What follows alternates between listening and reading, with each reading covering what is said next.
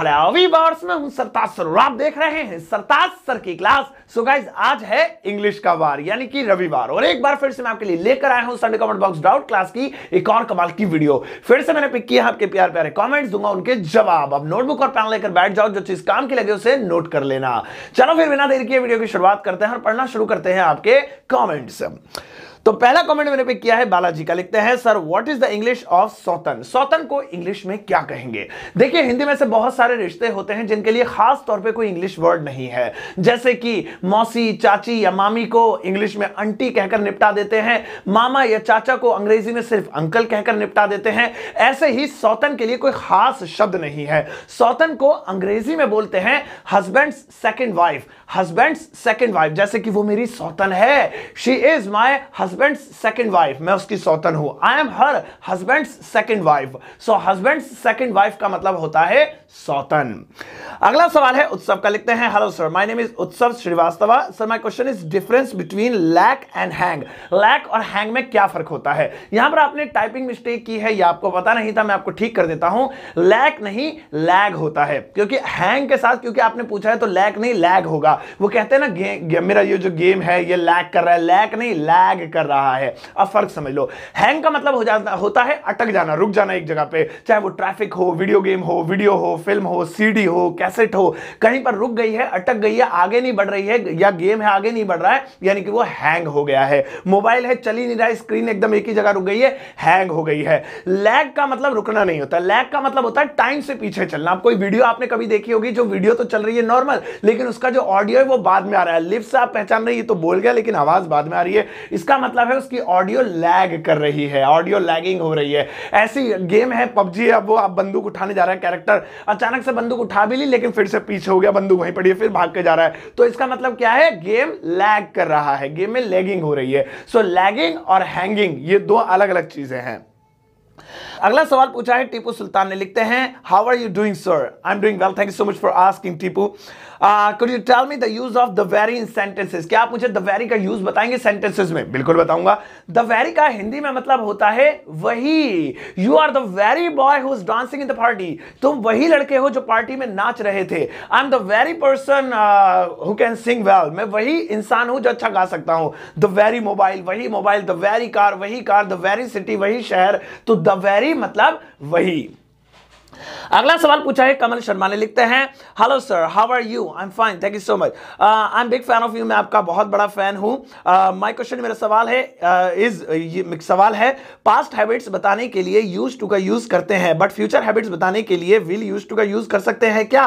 अभी आधा हुआ यही रोक देते हैं। हाँ जी कर सकते हो। आप फ्यूचर में हैबिट्स बताने के लिए विल यूज़ टू का यूज़ कर सकते हो। इसका जवाब कंप्लीट हो गया। अब आधा कमेंट और बचा वो पढ़ते हैं। अगला कमेंट uh, मतलब इसी में आगे लिखा है एंड सेकंड क्वेश्चन इज़ और अगला सवाल दूसरा सवाल है is fast reading speed increase and fast understanding please sir इस बारे में मेरा कमेंट इस बार मेरा कमेंट्स ले लेना। I am thankful to you आपने कहा कि फास्ट रीडिंग इंक्रीज करने के लिए, यानी जल्दी जल्दी पढ़ने के लिए और जल्दी जल्दी बोलने के लिए नहीं, बोलने के लिए नहीं। जल्दी जल्दी समझने के लिए क्या करना पड़ेगा? तो दोनों का बता देता हूँ। अगर आप जल्दी जल्दी इंग्लिश बोलना चाहते हैं तो बोलने के लिए आप न्यूज़ का सहारा लीजिए न्यूज़पेपर डेली पढ़ा कीजिए। समझ में आए या ना आए, आप एक पैराग्राफ या एक खबर लाउडली पढ़िए न्यूज़पेपर में से। पुराना कोई न्यूज़पेपर उठा लीजिए और पूरे हफ़्ते उसमें से लाउडली लाउडली ज़ोर ज़ोर से न्यूज़ पढ़नी है। डेली ये वाली एक्सरसाइज कर लो। इससे आपकी रीडिंग फास्ट हो जाएगी। इसके बाद आपने पूछा अंडरस्टैंडिंग यानी इंग्लिश समझेंगे कैसे? इसमें भी न्यूज़ आपकी हेल्प करेगी। बट इसमें न्यूज़पेपर पढ़ना नहीं है, बल्कि न्यूज़ इंग्लिश में सुननी है। जो भी दिन भर की खबरें होती हैं, एक टाइम बना लो, आधा घंटा इंग्लिश का न्यूज़ चैनल कोई सा भी आपका फेवरेट हो, उसमें खबरें सुनो, समझ आए या ना आए, एक महीने के अंदर आपकी अंडरस्टैंडिंग में इंप्रूवमेंट होने लगेगी और अपने आप आप समझने भी लगेंगे।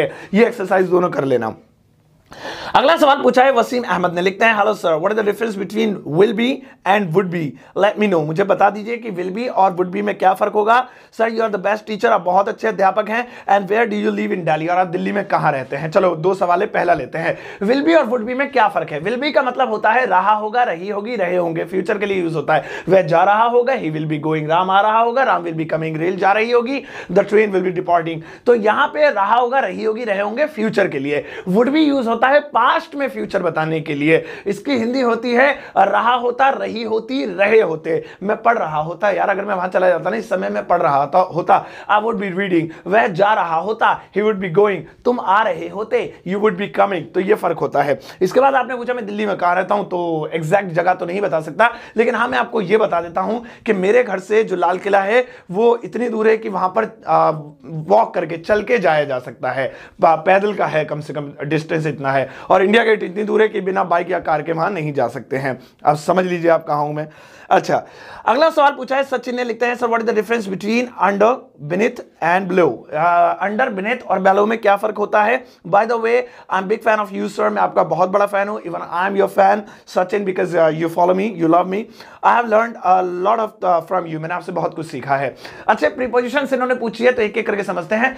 तीनों का मतलब होता है अंडर बिनिथ और बेलो तीनों का मतलब होता है नीचे या के नीचे. लेकिन फ़र्क समझिए, जब कोई चीज़ किसी चीज़ के नीचे लेकिन आपस में टच ना हो रही हो, वहाँ अंडर का यूज़ करते हैं। जैसे I am sleeping under the tree मैं पेड़ के नीचे सो रहा हूँ तो मैं पेड़ के नीचे ज़रूर हूँ, लेकिन टच नहीं हो रहा हूँ, इसलिए अंडर लगाया। I park my car under the flyover मैं अपनी कार को फ्लाईओवर के नीचे पार्क करूँगा तो कार फ्लाईओवर के नीचे ज़रूर है, लेकिन टच नहीं हो रहा, इसलिए अंडर लगाया। अब बिनित की बात करें तो इसमें टच होगा। There is a one rupee coin beneath your feet या बिनिथ योर फुट आपकी एड़ी के नीचे एक रुपए का सिक्का है तो एड़ी के नीचे मतलब टच हो रहा होगा तो वहाँ बिनिथ लगाते हैं। और बैलो का यूज़ करते हैं, जब आपको किसी स्पेसिफिक पॉइंट से नीचे बताना हो, जैसे बैलो फाइव ईयर्स पाँच साल से नीचे। तो पाँच साल एक पॉइंट हो गया, उससे नीचे बता रहे हैं। या बेलो फाइव डिग्री पाँच डिग्री से नीचे। तो ये बेलो करीज है। हालाँकि इस पर मैंने एक वीडियो बना रखी है प्रीपोजिशन वाली, वो देखना तो आपको और अच्छी जानकारी मिलेगी। शॉर्ट में मैंने आपको समझा दिया। अगला सवाल कनिका देवी ने पूछा, लिखती हैं sir I am waiting for seven months में सात महीने से वेट कर रही हूँ. This is my last hope मेरी आखिरी होप है, उम्मीद है. My question is difference between different between see look and watch see look और वॉच में क्या फ़र्क है? आपने कहा, कनिका जी, आप सात महीने से वेट कर रही है बट मुझे थोड़ा सा अच्छा नहीं लग रहा है, क्योंकि जो सवाल आपने पूछा है, वो पिछली में शायद, पिछले कॉमेंट बॉक्स की दो तीन वीडियो है, ऐसी बता चुका हूँ. इसका मतलब आप मेरी वीडियो नहीं देखती है. आप देखा कीजिए प्लीज़ सारी वीडियो देखा कीजिए. लेकिन फिर भी मैंने आपका सवाल मेरी नज़र पड़ गई, मैंने पिक कर लिया। सी लुक एंड वॉच में क्या डिफरेंस होता है? तीनों का मतलब हिंदी में होता है देखना लेकिन फ़र्क समझिए। किसी रुकी हुई ठहरी हुई चीज़ को देखना इंग्लिश में सी कहलाता है। जैसे मैंने ताजमहल देखा रुका हुआ है ठहरा हुआ है I saw the Taj Mahal. See की सेकंड फॉर्म लगा दी। आ, मैं घर देख रहा हूँ I am seeing the house और वॉच लगाते हैं जो गति में हो मोशन में हो। I am watching the race मैं एक रेस देख रहा हूँ। I was watching the aeroplane में एक उड़ता हुआ हवाई जहाज़ देख रहा था क्योंकि गति में है। I am watching the movie मैं फ़िल्म देख रहा हूँ क्योंकि फ़िल्म भी गति में होती है। उसकी जो पिक्चर होती है वो मोशन में चलती रहती है टीवी के अंदर। और लुक लगाते हैं किसी चीज़ को टकटकी बांधकर या घूर कर देखना। आम लुकिंग एट यू मैं आपको घूर कर देख रहा हूँ, हिलना मत। तो ये फ़र्क होता है। बाकी मैंने वीडियोज़ में बताया है, आप वो ज़रूर देखा कीजिए। अगला सवाल पूछा है एड अ पब्लिक कमेंट ने लिखते हैं what is the difference between negotiation and bargaining negotiation and bargaining में क्या फ़र्क होता है?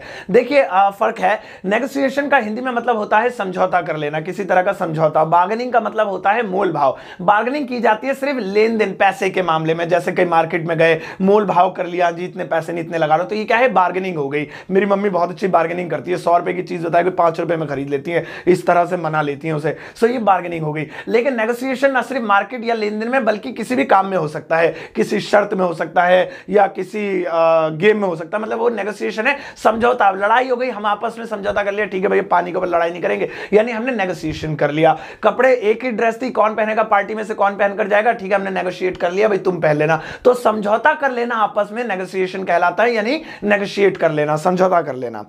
अगला सवाल पूछा है तेजस हिंदुस्तानी गेमर ने। लिखते हैं what is the meaning of इन सब का मीनिंग बताइए? पाँच है इसमें एक एक करके पढ़ते हैं। पहला है सोप। सोप का क्या मतलब होता है? सोप का मतलब होता है सिसक सिसक कर रोना। इस तरह से रोना, ये सोप कहलाता है। अगला है स्नोर। आपने इसमें स्पेलिंग मिस्टेक की इसमें ई भी आएगा, लेकिन आपने ई नहीं लिखा। स्नोर का हिंदी में मतलब होता है खर्राटे लेना, सोते हुए जो खर्राटे लेते हैं। तीसरा है ओल्ड आउट ओल्ड आउट कोई फ्रेज नहीं होता, लेकिन मुझे पता है आपने ये कहीं से पिक कर लिया है, किसी पार्ट में से। ये ऐसे लिखा होगा, a boy seven years old out with father यानी कि एक सात साल का लड़का अपने जो है पापा के साथ बाहर गया। तो आपने ओल्ड आउट उठा लिया बीच में से। सेवन ईयर्स ओल्ड आउट था वो। चलिए, कोई बात नहीं, लेकिन ओल्ड आउट कोई फ्रेज स्पेशल नहीं होता है। लेकिन जहाँ से आपने उठाया, पूरा सेंटेंस आप लिखा कीजिए, तब समझ में आएगा। स्क्रीम्ड स्क्रीम्ड का हिंदी मतलब होता है चीख मारना, चिल्लाना ज़ोर से। यू आर स्क्रीमिंग तुम बहुत चिल्ला रहे हो। और स्टैमर स्टैमर का हिंदी में मतलब होता है हकलाना। हो गया आपका। अच्छा अगला सवाल है रोहित का, लिखते हैं सर एज और बिकॉज़ दोनों क्योंकि का अर्थ दर्शाते हैं। एज और बिकॉज़ दोनों क्योंकि का अर्थ दर्शाते हैं। बताइए किस कंडीशन में किसको लगाएँ? तो किस कंडीशन में कौन सा लगाएँ? ये कह रहे हैं कि एज और बिकॉज़ दोनों का हिंदी में मतलब होता है क्योंकि। तो आ, मतलब जो है कौन सा कहा लगाएँ? मतलब नहीं इन्होंने कहा अर्थ आ, निकलता है। हाँ बिल्कुल सही है। मतलब नहीं होता है दोनों का क्योंकि लेकिन दोनों की जो आ, जो क्या क्या कहा आपने? दोनों का अर्थ दर्शाते दोनों अर्थ निकलता है दोनों का। दोनों का मतलब कहीं ना कहीं बैठता है क्योंकि। अब मैं आपको एक एक करके समझाता हूँ। बिकॉज़ का जैसे बिकॉज़ लिखा है। बिकॉज़ का हिंदी में मतलब होता है क्योंकि। I am not going to the office because it's raining मैं ऑफ़िस नहीं जाऊँगा क्योंकि बारिश हो रही है। The father is coming because mother is calling पापा जी आ रहे क्योंकि मम्मी बुला रही है। तो क्योंकि और दूसरा है एज एज का मतलब क्योंकि नहीं होता? एज का मतलब होता है जैसा कि as it's raining I am not going to the office जैसा कि बारिश हो रही है मैं ऑफ़िस नहीं जा रहा हूँ। यानी यही वजह है कि मैं ऑफ़िस नहीं जा रहा हूँ। सो so, आप एज और बिकॉज़ का एक दूसरे की जगह यूज़ कर सकते हैं।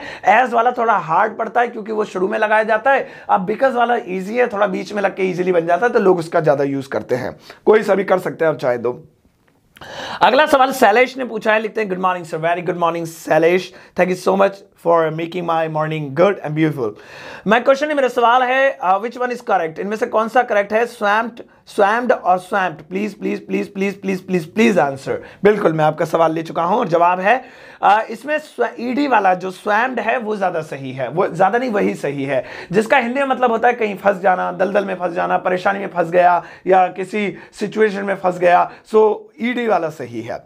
अगला सवाल यदु यदुवंशियन ने लिखा यदुवंशियन। माय क्वेश्चन मेरा सवाल है चक्का जाम को इंग्लिश में क्या कहते हैं? चक्का जाम अभी सैटरडे यानी कल ही के दिन की बात है जब आ, चक्का जाम हुआ था किसानों के द्वारा। तो अब इंग्लिश के जितने भी इंडिया में अखबार छपते हैं, सबने इंग्लिश के अखबारों की बात कर रहा हूँ न्यूज़ चैनल्स की भी बात कर रहा हूँ इंग्लिश वाले। सबने चक्का जाम को इंग्लिश में चक्का जाम ही लिखा। बहुत सारे मेरे पास कॉमेंट्स आए कि चक्का जाम को इंग्लिश में क्या कहते हैं? इंग्लिश नहीं आती क्या? ऐसा नहीं है इंग्लिश नहीं आने का मतलब नहीं है, बल्कि एक स्पेसिफिक फ्रेज एक वर्ड है तो इसको हिंदी के हिंदी वाला यूज़ किया जाता है। ये स्टाइल है इंग्लिश का। तो आप चक्का जाम को, जैसा कि बाकी न्यूज़ चैनल्स और न्यूज़पेपर वालों ने किया इंग्लिश वालों ने, आप इंग्लिश में चक्का जाम को चक्का जाम ही बोल सकते हैं। देर वॉज़ अ चक्का जाम बाय द फार्मर्स किसानों द्वारा एक चक्का जाम किया गया था। लेकिन अगर आपको किसी को समझाना पड़े फॉरनर को कि चक्का जाम होता क्या है तो उसके लिए मैं आपको बता देता हूँ। चक्का जाम के लिए आप अंग्रेज़ी फ्रेज यूज़ कर सकते हैं traffic blocking traffic blocking there was a traffic blocking by the farmers यानी कि किसानों के द्वारा एक ट्रैफ़िक ब्लॉकिंग यानी कि चक्का जाम था।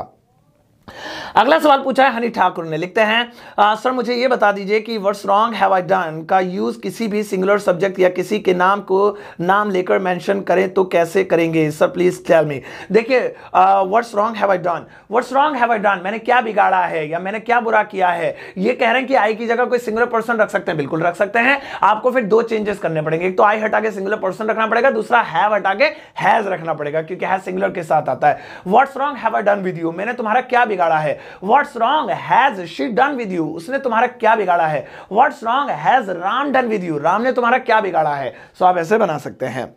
हैज़ के साथ।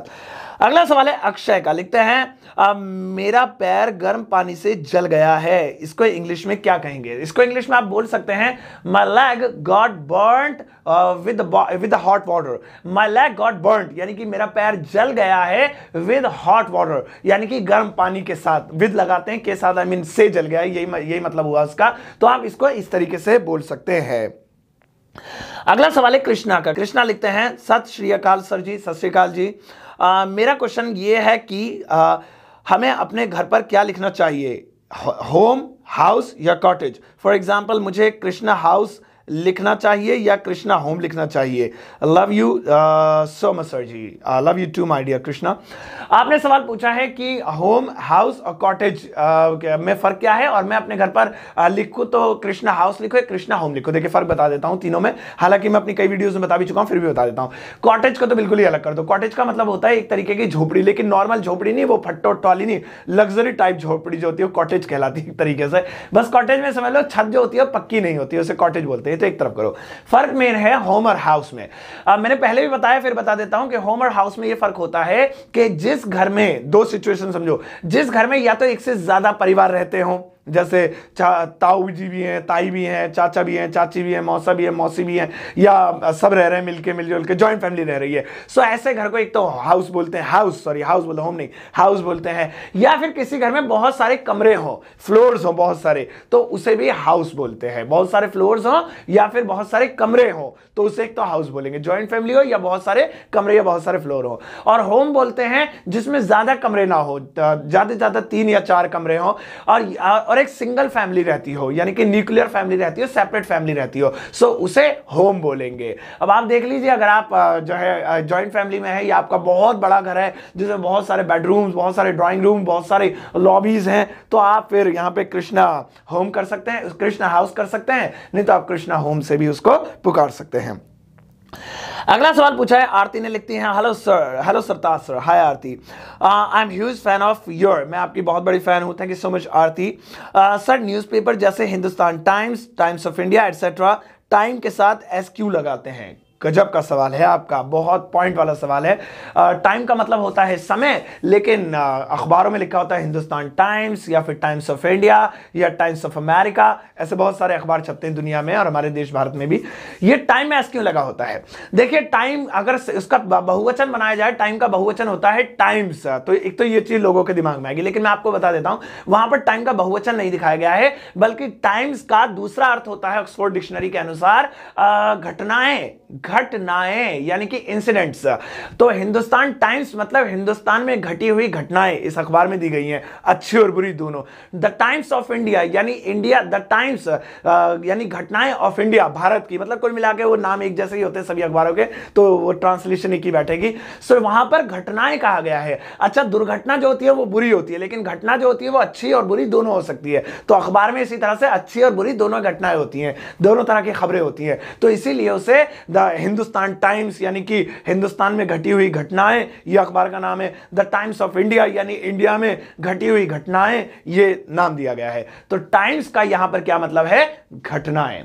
आई एम श्योर कि आपको जानकर बहुत मज़ा आएगा और बहुत सारी नॉलेज भी मिली होगी। आप दूसरों से पूछना जरा, टाइम्स का क्या मतलब होता है? देखते हैं, वो आपको बता पाते हैं या नहीं। अगर बता पाते हैं then I clap for them तो गाइज़ ये था आज का रविवार स्पेशल सेशन जो कि हर रविवार को आता है। आप इसे बहुत सारा प्यार देते हैं श्योर कि आप इसका ऐसे ही वेट भी करते होंगे। अपने प्यार प्यारे कमेंट्स ऐसे ही करते रहा कीजिए। किसी भी वीडियो में कमेंट कीजिए, अपना सवाल पूछिए और उसके नीचे लिखिए हैश टैग सर मैं पूरे हफ़्ते के लास्ट में सैटरडे को सारे कॉमेंट्स पिक करता हूँ, उसमें से चूज़ करता हूँ, फिर उसके ऊपर वीडियो बनाता हूँ, आपके जवाब देता हूँ जिनके जवाब नहीं दे पाता हूँ आई एम रियली सॉरी क्योंकि इतने सारे हज़ारों कॉमेंट्स के जवाब एक वीडियो में देना पॉसिबल नहीं आप समझ सकते हैं। मैं कोशिश करूँगा उन्हीं के कॉमेंट में जाकर उनके जवाब देने की।